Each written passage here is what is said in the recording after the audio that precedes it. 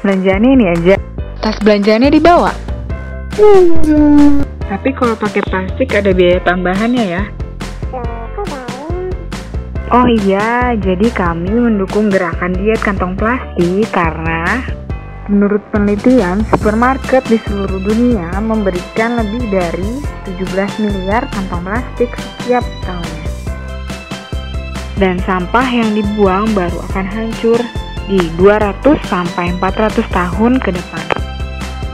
Dan fakta lainnya, ternyata 60% sampah plastik berupa botol dan pembungkus plastik berasal dari perumahan.